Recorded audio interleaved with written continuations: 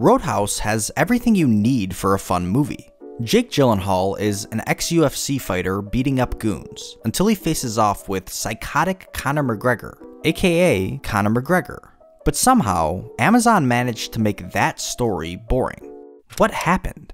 There are enough problems with Roadhouse that it's hard to pinpoint what the main issue is. The characters are flat, the dialogue and plot are predictable, and visually, it's just bizarre. In defense of these problems, people point out that it's just a remake of a goofy 80s movie, which is true.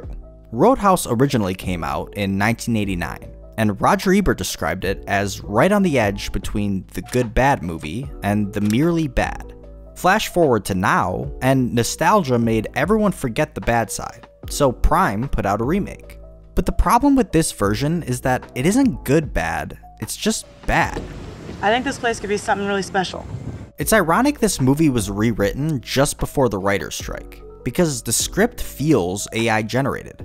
We've all known what a character was gonna say before they said it, because what they're saying is cliche. Roadhouse has more of those moments than any movie I can remember seeing. It's like every conversation is pulled from the examples in a screenwriting book. It's almost never engaging to listen to someone if you already know what they're gonna say. Just like a story, dialogue is best when it surprises you. In Roadhouse, you're almost never surprised, and at some point, you just check out. Look, I should warn you.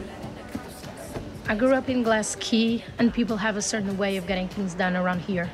Roadhouse is one of those movies where you wonder why the famous lead actor agreed to be in it.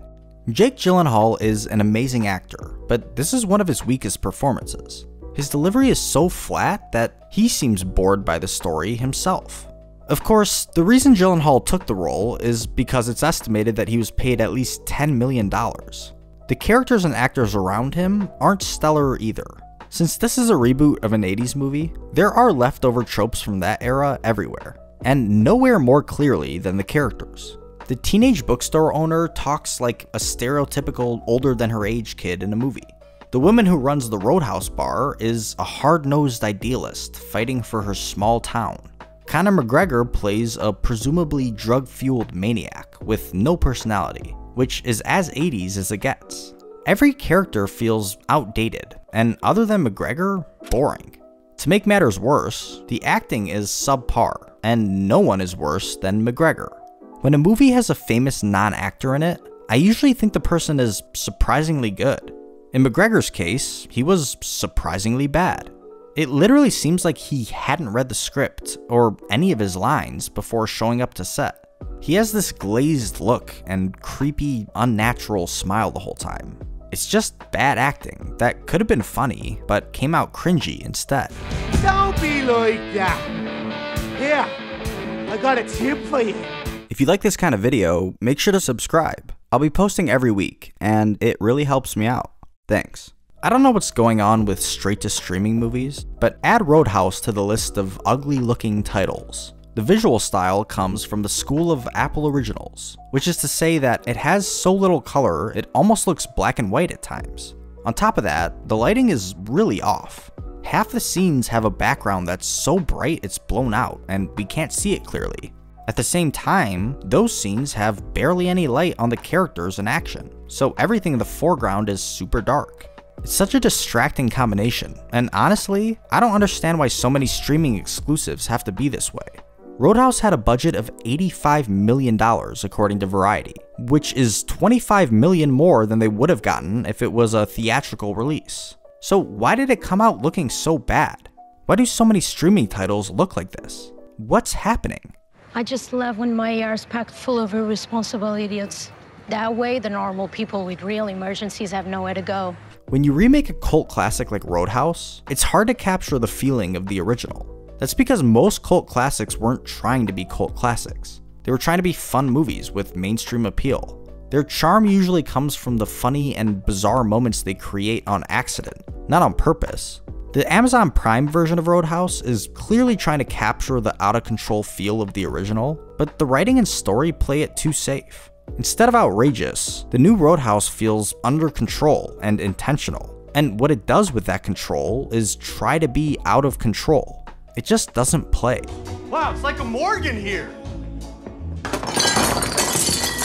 As much as I and many others dislike Roadhouse, it got 50 million views in about 10 days, which is the most successful debut a Prime exclusive has ever had. In fairness, a lot of it has to do with the incredible marketing campaign, but still, it's undeniable that simple and stupid is what a lot of people want. This isn't a new trend, but what is new is who's spending the money on movies. It used to be that Hollywood executives were passionate about producing artistically fulfilling projects. That may sound ridiculous, but it's true. Hollywood has always known that safe projects are better money, but they still chose to make medium budget, ambitious movies anyway. Since streamers have controlled funding, that's changed. These are modern, data driven companies, and you can expect them to continue the trend towards simplicity because that's always what the numbers have said to do. So are you happy? Are you stupid? I've been punched in the face too many times. Speaking of corporate threats to art, I wouldn't be shocked if AI had some role in the creation of Roadhouse. Much has been made about AI, and there are a couple likely outcomes in entertainment. The first is that most people's jobs are at risk, which is true in many industries. The second is that AI will lead to even more data driven projects. The only prompt that any streaming company is going to give AI is this make me a movie that generates income. Anything further would require risk and creativity, which isn't the corporate approach. AI will never push the creative boundaries of a project without being prompted to do so specifically.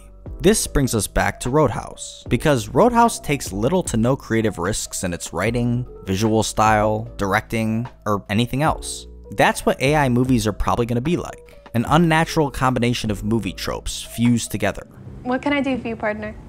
Kinda wondering if maybe you had a computer around these parts I could use. As always, there are a few redeeming qualities to Roadhouse. The story is steeped in Florida, and everything from the bar to the outfits feels very Sunshine State, which is a cool setting to hang out in.